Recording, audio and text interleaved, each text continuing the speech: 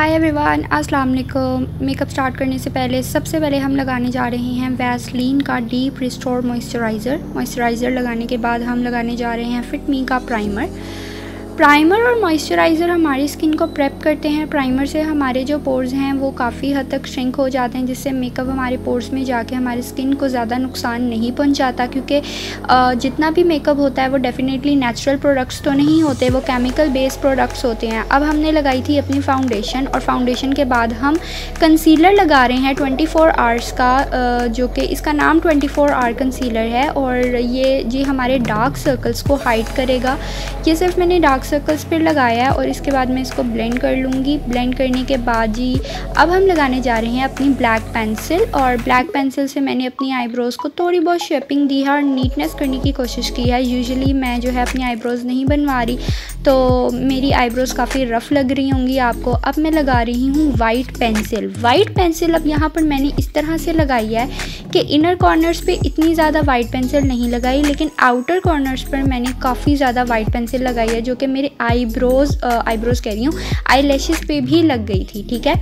और inner corners पे मैंने फोकस किया है जी ब्लैक पेंसिल पे। इससे ये होगा कि मेरी जो आँख है उसकी एक शेप बन जाएगी।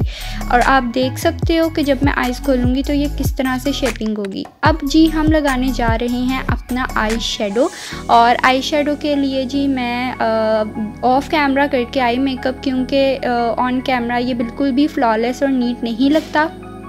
मैं आपको शो करूँगी कि मैंने बेस कलर कौन सा लिया था।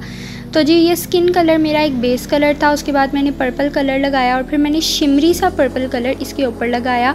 और अगर आपको इस कैमरा में सही से शेड नहीं पता चल रहा तो आई कैन फेक सेट मैं यहाँ पर एक ऐड कर दूँगी पिक्चर यहाँ पर मैं आईलाइनर लगाने के बाद ये शिमर लगा रही हूँ। शिमर वैसे तो पहले लगाना चाहिए था क्योंकि मैं अपना जो आई मेकअप है वो ऑलरेडी ऑफ़ कैमरा कर चुकी थी तो मैंने अपना लाइनर भी ऑफ़ कैमरा लगाया था।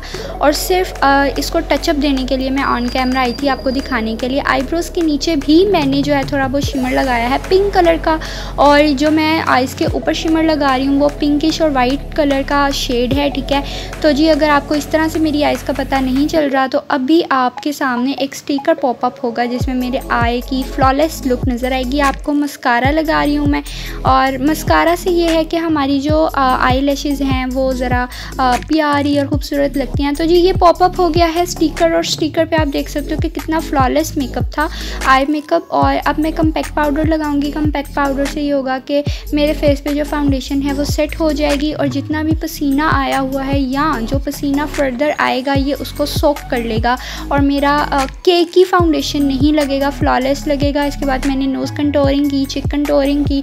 कंटोरिंग के बाद मैंने लगाया है मेट पिंक कलर का ब्लश जो कि बहुत लाइट शेड में मैंने लगाया था और इसी शेड की मैंने लगाई थी जी लिपस्टिक ठीक है लिपस्टिक के ऊपर, क्योंकि ये एक मैट लिपस्टिक टाइप था, इसके ऊपर मैंने शिमर लगाया just to make it shine ये मैं लगा रही हूँ हाईलाइटर हाईलाइटर मैंने चिक्स पे लगाया है आइज़ के ऊपर जो आईब्रोज़ के नीचे स्पेस होती है, वहाँ लगाया है नोज़ के दरमियान में लगाया है और लिप्स के दरमियान में लगाया है just to make it flawless और अच्छा सा लुक दे, ठीक है तो जी, ये मेरी लुक थी, इसके साथ मैंने अपनी चांदी का सेट पहना है, जो कि इसके साथ काफ़ी ज़्यादा जच रहा था टू बी वेरी ऑनेस्ट ये मेरी अपनी ज़ाती मेहंदी का सूट है। और, आज जब जब मैंने इसको अपने कपड़ों में देखा तो मैंने सोचा कि क्यों ना इसके साथ वीडियो जो है वो क्लिक की जाए।